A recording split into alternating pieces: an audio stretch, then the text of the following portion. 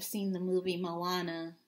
It's it's a great movie about a little girl who turns into a young woman whose destiny is to rule an island nation and to stay there forever and she doesn't want to. She has a call that she is supposed to sail the sea and um, to help her nation.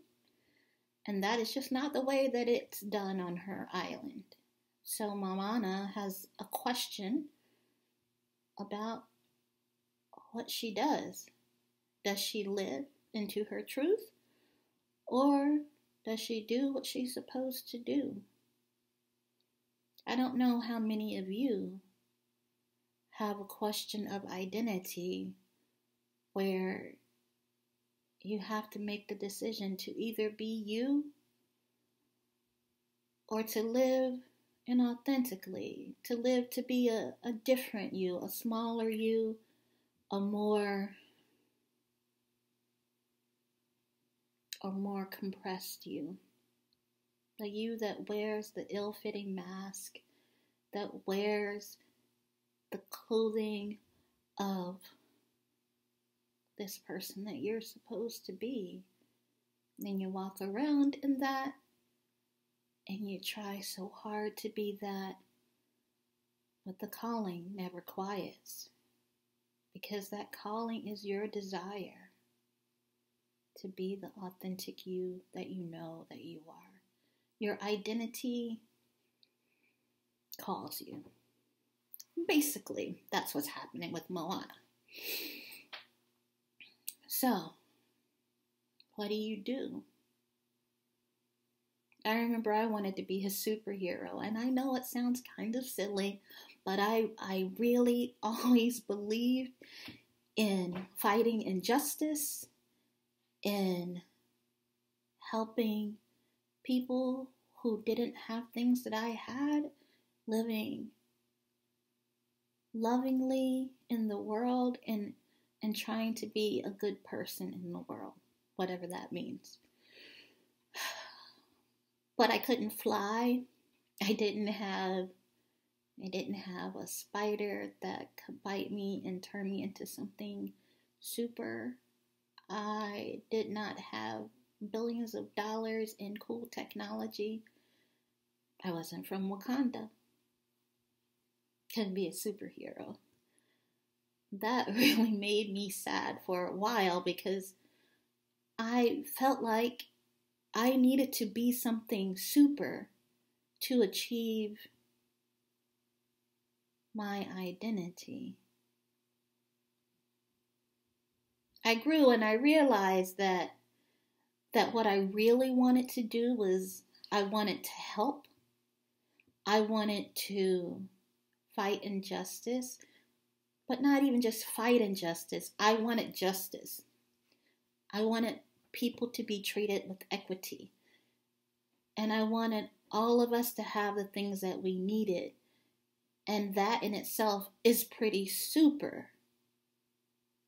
The way that I got there, though, the way that I'm getting there, I should say, is first I had to learn how to live in my own identity. I had to be the kid who played with the kids that nobody wanted to play with.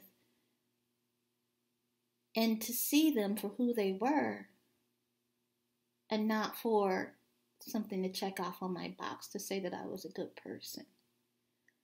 I had to be the kid who shared some of my favorite things with other people, not because it made me look good,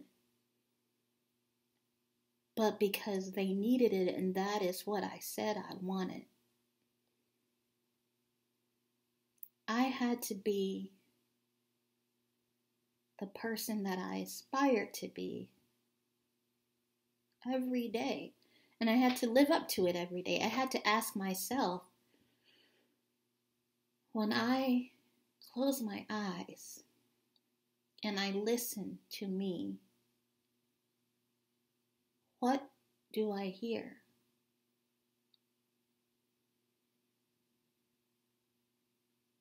What do you hear? Or maybe you don't hear it. What do you see? What can you feel?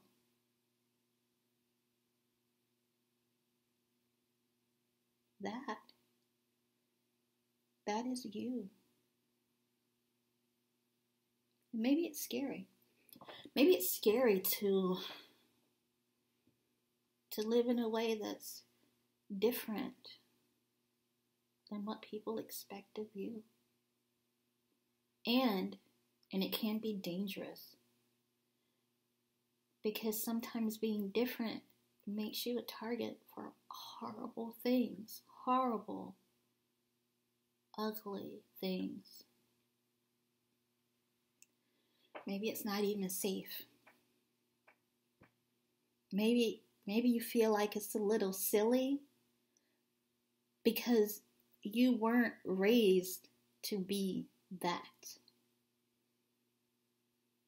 Because that is not what we do. And maybe you feel like it really doesn't matter. It's just not not a big deal. I'm here to tell you that it is. That that voice matters. That who you are matters. And that that voice, it won't go away. As Moana says, it will call you again and again. And what you have to decide for you is when is the right time to answer it. My right time to answer it was when I stopped running. When I realized I was so upset with myself for not listening. When I substituted everything that I could substitute into it, and I still didn't feel quite peaceful in my soul. I realized there was no no turning back for me. I had to answer the call, the call of my identity, which meant that I had to be different. I had to push away things that most people would say, You made it. You made it. What are you doing? And I had to tell the truth of who I was, even when that truth would lose me friends and family, people that I loved would be disappointed and hurt and angry. I had to call up courage, the courage to say my truth out loud, to live my identity fully, and actually sometimes to decide that it wasn't safe to live my identity fully and be okay with me. And eventually, I had to just, just, do you know? Do you know what that is? Just when you just just be me. Me, flawed me, and me who isn't flawed. And most days, authentic me, and some days, the mask that fits inauthentically, and the mask that is ill fitting and scratchy and reminds me that I need to be me. So, what do you do when your identity is not something that fits within what you were supposed to be? What you do is you sit with you. You sit with you and you listen. You listen to you. You feel you. You smell you.